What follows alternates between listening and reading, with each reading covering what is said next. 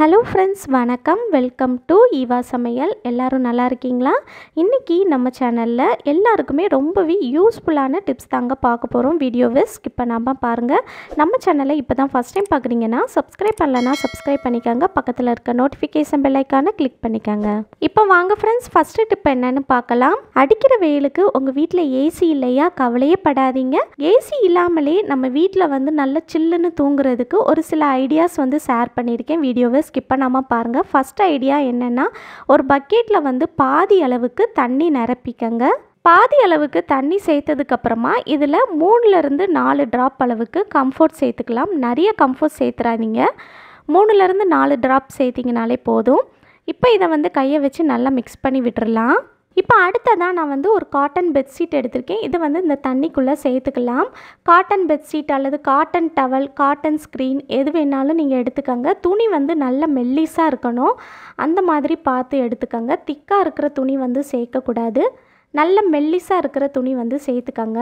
நம்ம கம்ஃபோர்ட் எதுக்காக சேர்த்துருக்கோம் பார்த்தீங்கன்னா இந்த மாதிரி ஈர துணியை அப்படியே எடுத்து நம்ம ரூமில் போட்டு யூஸ் பண்ணோம் அப்படின்னா ஈர வாடை அடிக்கும் இல்லையா? அது நமக்கு ஒரு மாதிரி அன்கம்ஃபர்டபுளாக இருக்கும்.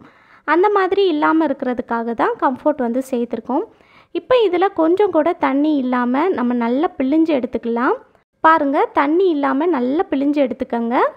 அடுத்து ஒரு சின்ன டிப் என்னென்னா நம்ம வீட்டில் வந்து இந்த மாதிரி விண்டோவில் வந்து நீங்கள் கர்டைன்ஸ் போட்டுக்கிறது நல்லது. ஏன்னா அடிக்கிற வெயிலுக்கு அந்த வெயில் வந்து நம்ம வீட்டுக்குள்ளே அந்த ஹீட் வந்து அப்சர்வ் ஆகாமல் இருக்கும். உங்கள் வீட்டில் இந்த மாதிரி கர்டைன்ஸ் இல்லைன்னா ஏதாவது சரி அல்லது போர்வையை கூட நீங்கள் போட்டு ஒரு கிளிப் போட்டு வச்சிட்டிங்கன்னா வெயில் நம்ம வீட்டுக்குள்ளே வராது. ஸோ வீடு வந்து ரொம்ப ஹீட் ஆகாமல் நம்ம பார்த்துக்கலாம் இது ஒரு ஐடியா தான். ட்ரை பண்ணி பாருங்கள் இப்போ இந்த ஸ்க்ரீன் எல்லாத்தையுமே நம்ம வந்து ஓரமாக ஒதுக்கி விட்டுறலாம். நம்ம பெட்ஷீட்டை வந்து தண்ணியில் சேர்த்து நல்லா பிழிஞ்சு எடுத்திருந்தோம் இல்லையா? அதை வந்து இந்த மாதிரி ஸ்க்ரீனை நல்லா ஒதுக்கி விட்டுட்டு அதுக்கப்புறமா ஜன்னலை வந்து திறந்து விட்டுருங்க. நைட்டு தூங்குறதுக்கு முன்னாடி இந்த மாதிரி நீங்கள் ஜன்னலெல்லாம் திறந்து விட்டுட்டு அதுக்கப்புறமா நம்ம தண்ணியில் முக்கி எடுத்திருந்தோம் இல்லையா? அந்த பெட்ஷீட்டை வந்து போட்டு விட்டுருங்க. பெட்ஷீட்டை போட்டுட்டு நான் வந்து டைட்டாக இருக்கணுங்கிறதுக்காக மேலே வந்து ஒரு மூணு கிளிப்பு வந்து போட்டு வச்சுருக்கேன். இந்த மாதிரி செய்யும்போது பார்த்திங்கன்னா நம்ம ஜன்னல் திறந்து வச்சுருக்கோம் இல்லையா? வெளியிலேருந்து காற்றடிக்கும் போது அந்த காற்று வந்து இந்த ஈர துணியில் பட்டு நமக்கு நல்ல சில்லுன்னு காற்றடிக்கும் இதனால் பார்த்திங்கன்னா நம்ம ரூமே நல்லா சில்லுன்னு இருக்கும். கண்டிப்பாக ட்ரை பண்ணி பாருங்கள் சூப்பராக ஒர்க் அவுட் ஆகும். இந்த ஐடியா பிடிச்சிருந்துச்சுன்னா லைக் பண்ணிக்கோங்க. உங்கள் ஃப்ரெண்ட்ஸ் கூடயும் ஃபேமிலி மெம்பர்ஸ் கூடயும் ஷேர் பண்ணிக்கோங்க.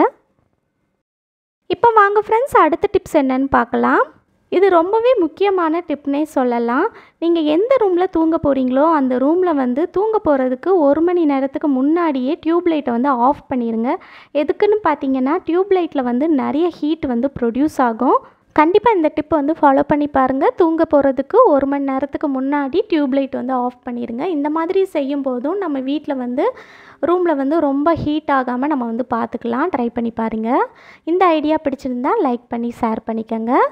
இப்போ வாங்க ஃப்ரெண்ட்ஸ் அடுத்த டிப் என்னன்னு பார்க்கலாம். இந்த மாதிரி ஒரு பெரிய பாத்திரத்தில் ஃபுல்லாக தண்ணி நிரப்பி ஃப்ரிட்ஜில் வந்து ஃப்ரீசரில் காலையிலேயே வச்சு விட்டுருங்க. இந்த மாதிரி நீங்கள் காலையிலே வச்சு விட்டுட்டீங்க அப்படின்னா நம்ம நைட்டு பார்க்கும்போது அது நல்லா ஃப்ரீஸ் ஆகியிருக்கும் பாருங்கள் இப்போ வந்து நல்லா ஃப்ரீஸ் ஆகி இது வந்து நல்ல ஐஸ் கட்டியாக ஆயிடுச்சு இப்போ இதை நம்ம எடுத்துகிட்டு போய் நம்ம வீட்டில் வந்து எந்த ரூமில் நம்ம தூங்குவோமோ அந்த ரூமில் இந்த மாதிரி கட்டிலுக்கு பக்கத்தில் ஒரு ஸ்டூல் அல்லது ஒரு சேர் போட்டு அதில் வந்து வச்சு விட்டுருங்க. இந்த மாதிரி நம்ம வச்சு விட்டுறதுனால மேலே வந்து ஃபேன் ஓடும்போது அந்த ஃபேன் காற்று இந்த ஐஸ் கட்டியில் பட்டு அந்த ஐஸ் கட்டி கரைய கரைய நமக்கு நல்ல சில்லுன்னு காற்று வருங்க. நம்ம ரூமே நல்லா கூலிங்காக இருக்கும். கண்டிப்பாக ட்ரை பண்ணி பாருங்கள் இந்த ஐடியா பிடிச்சிருந்தா லைக் பண்ணி ஷேர் பண்ணிக்கோங்க. இப்போ வாங்க ஃப்ரெண்ட்ஸ் அடுத்த டிப்ஸ் என்னன்னு பார்க்கலாம். அடிக்கிற வெயிலுக்கு நம்ம வீட்டில் வந்து சீலிங் ஃபேன் இருக்கிறத விட இந்த மாதிரி டேபிள் ஃபேனும் நம்ம வச்சுக்கிறது ரொம்பவே நல்லதுங்க. டேபிள் ஃபேனில் நல்லாவே காற்று வரும் இல்லையா? இந்த மாதிரி டேபிள் ஃபேன் வந்து உங்கள் வீட்டில் யூஸ் பண்ணுறீங்க அப்படின்னா அந்த டேபிள் ஃபேன் முன்னாடி இந்த மாதிரி ஒரு சேரு அல்லது நீங்கள் ஏதாவது ஒரு ஸ்டூல் கூட வச்சுட்டு அதுக்கப்புறமா அதுக்கு மேலே வந்து நம்ம வந்து ஃப்ரீஸ் பண்ணி வச்சுருந்தோம் இல்லையா? அந்த மாதிரி பெரிய பவுலில். அதை எடுத்து வச்சுருங்க. அந்த பாத்திரத்தை வச்சிட்டீங்க அப்படின்னா அந்த ஃபேன் காற்று வந்து நேரடியாக டேரெக்டாக அந்த ஐஸ் கட்டியில் படும்போது இன்னுமே நமக்கு நல்ல கூலிங்காக இருக்கும். அந்த ஐஸ் கட்டி கரைய கரைய நமக்கு வந்து நல்ல சில்லுன்னு இருக்கும். கண்டிப்பாக ட்ரை பண்ணி பாருங்கள் இந்த ஐடியா உங்களுக்கு பிடிச்சிருந்துச்சுன்னா லைக் பண்ணிக்கோங்க. உங்கள் ஃப்ரெண்ட்ஸ் கூடயும் ஃபேமிலி மெம்பர்ஸ் கூடயும் ஷேர் பண்ணிக்கோங்க. இப்போ வாங்க ஃப்ரெண்ட்ஸ் அடுத்த டிப் என்னன்னு பார்க்கலாம். நம்ம செலோ டேப்லாம் இந்த மாதிரி புதுசாக வாங்கிட்டு வரோம் அப்படின்னா அதில் வந்து கத்தியை வச்சு கட் பண்ணி தான் மோஸ்ட்லி நம்ம வந்து கட் பண்ணுற மாதிரி இருக்கும். அந்த மாதிரி செய்கிறப்ப நமக்கு வந்து கட் பண்ணுறதுக்கே கொஞ்சம் கஷ்டமாக இருக்கும் இல்லையா? அந்த மாதிரி இல்லாமல் நம்ம வீட்டில் இருக்க ஒரு பொருளை வச்சு ஈஸியாக கட் பண்ணிடலாம். அது என்னன்னு பார்க்கலாம். இதுக்கு நான் வந்து இந்த மாதிரி ஒரு சேஃப்டி பின் எடுத்திருக்கேன். ஒரு ஊக்கு எடுத்துக்கங்க. இந்த ஊக்கை வந்து ஓப்பன் பண்ணிவிட்டு இந்த செலோ டேப்பில் நீங்கள் இந்த மாதிரி லைட்டாக குத்தி இழுத்தீங்கன்னா ஈஸியாக நம்மளால் கட் பண்ண முடியும். இப்போ பாருங்கள் நம்ம வந்து ஈஸியாக கட் பண்ணி எடுத்துட்டோம். இந்த மாதிரி நீங்கள் வந்து செலோ டேப் வந்து கட் பண்ணி ஓப்பன் பண்ணிக்கலாம். அதே மாதிரி இந்த செலோ டேப்பை வந்து நம்ம வந்து ஓப்பன் பண்ணதுக்கப்புறமா இதை வந்து கட் பண்ணணும் அப்படின்னா நம்ம சிசர் யூஸ் பண்ணுவோம் இல்லையா? சிசர் நமக்கு தேவையே இல்லைங்க. இந்த மாதிரி ஊக்க வச்சே நம்ம வந்து ஈஸியாக கட் பண்ணிடலாம். பாருங்கள் இந்த மாதிரி நீங்கள் லைட்டாக குத்தி இழுத்தீங்கன்னா ஈஸியாக நம்மளால் கட் பண்ண முடியும். ட்ரை பண்ணி பாருங்கள் நம்ம சிசரை வச்சு கட் பண்ணுறதை விட இந்த மாதிரி ஊக்க வச்சு கட் பண்ணும்போது நமக்கு கட் பண்ணுறதுக்கு ரொம்பவே ஈஸியாக இருக்கும். அதே போல் நம்ம வந்து ஒவ்வொரு முறையும் நம்ம வந்து செலக்டப் வச்சுட்டு நெக்ஸ்ட் டைம் நம்ம யூஸ் பண்ணுறப்ப அந்த எண்டு வந்து எங்கே இருக்குது அப்படின்னு நமக்கு கண்டுபிடிக்கிறதுக்குள்ளே ஒரு வழி ஆயிரும். அந்த மாதிரி இல்லாமல் நம்ம வந்து ஒவ்வொரு முறையும் செலக்டப் எடுத்து நம்ம யூஸ் பண்ணுறப்ப ஈஸியாக நம்ம அந்த எண்டை கண்டுபிடிக்கிறதுக்கு இந்த மாதிரி ஊக்க வந்து நீங்கள் க்ளோஸ் பண்ணிவிட்டு அந்த ஊக்கை வந்து அதோட எண்டில் வச்சு இந்த மாதிரி செலோடேப்பை வந்து ஒட்டி விட்டுருங்க. இந்த மாதிரி செய்கிறப்ப நம்ம ஒவ்வொரு முறையும் நம்ம செலோடேப் எடுத்துகிட்டு யூஸ் பண்ணும்போது நமக்கு ஈஸியாக இருக்கும். நெக்ஸ்ட் டைம் நம்ம தேடிட்டுருக்கணும்னு அவசியமே இல்லைங்க. நம்ம டக்குன்னு எடுத்து யூஸ் பண்ணிக்கலாம். நம்மளோட டைமும் சேவ் ஆகும். கண்டிப்பாக ட்ரை பண்ணி பாருங்கள் இந்த ஐடியா பிடிச்சிருந்தா லைக் பண்ணிக்கோங்க. உங்கள் ஃப்ரெண்ட்ஸ் கூடயும் ஃபேமிலி மெம்பர்ஸ் கூடயும் ஷேர் பண்ணிக்கோங்க. இப்போ வாங்க ஃப்ரெண்ட்ஸ் அடுத்த டிப் என்னன்னு பார்க்கலாம். நம்ம இந்த மாதிரி எலாஸ்டிக் வச்ச பேண்ட்டு அல்லது எலாஸ்டிக் வச்ச ஸ்கர்ட்லாம் வாங்கிட்டு வருவோம்.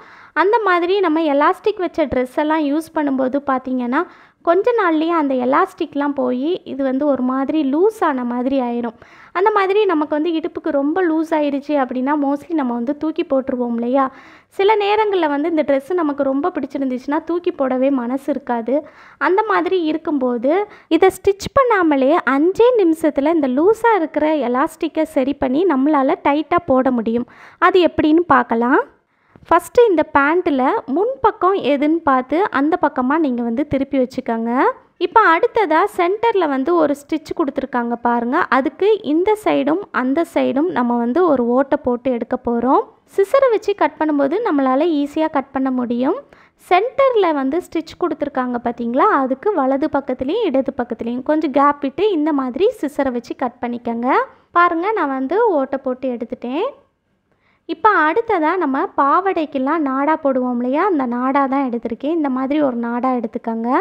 இப்போ இந்த நாடாவோட ஒரு எண்டில் வந்து ஒரு ஊக்கு போட்டு எடுத்துடலாம். இந்த மாதிரி கொஞ்சம் பெரிய சைஸாக ஊக்கு எடுத்துக்கோங்க. இந்த ஊக்கை வந்து இந்த நாடால் போட்டு எடுத்துட்டு நம்ம ஓட்டை போட்டு எடுத்திருக்கோம் இல்லையா? அதில் வந்து ஒரு பக்கத்தில் இந்த மாதிரி அந்த ஊக்கை வந்து உள்ளே விட்டு இந்த மாதிரி நீங்கள் கையை வச்சு அப்படியே தள்ளி தள்ளி விட்டீங்க அப்படின்னா ஈஸியாக வந்துடும் நம்ம பாவாடைக்கெல்லாம் நாடா போடுவோம் இல்லையா? அது போல தான் இந்த மாதிரி ஊக்கை வந்து கொஞ்சம் கொஞ்சமாக மூவ் பண்ணி இன்னொரு பக்கத்தில் இருக்கிற ஓட்டை வழியாக நம்ம வெளியே எடுக்க போகிறோம் இப்போ பாருங்கள் நான் வந்து நாடா போட்டு எடுத்துட்டேன்.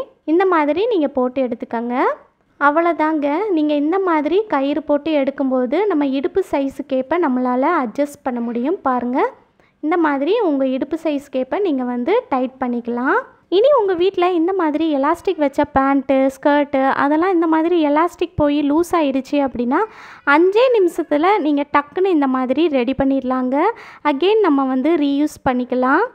கண்டிப்பாக ட்ரை பண்ணி பாருங்கள் ஓகே ஃப்ரெண்ட்ஸ் இந்த வீடியோ உங்களுக்கு ரொம்பவே யூஸ்ஃபுல்லாக இருந்திருக்கும்னு நினைக்கிறேன். ஏதாவது ஒரு ஐடியாவாவது உங்களுக்கு ரொம்பவே பயனுள்ளதாக இருந்திருக்கும்னு நினைக்கிறேன். பிடிச்சிருந்தா லைக் பண்ணி ஷேர் பண்ணிக்கோங்க. நம்ம சேனலை இப்போ தான் ஃபஸ்ட் டைம் பார்க்குறீங்கன்னா சப்ஸ்கிரைப் பண்ணலன்னா சப்ஸ்கிரைப் பண்ணிக்கோங்க. பக்கத்தில் இருக்க நோட்டிஃபிகேஷன் பெல்லைக்கான கிளிக் பண்ணிக்கோங்க. தேங்க்யூ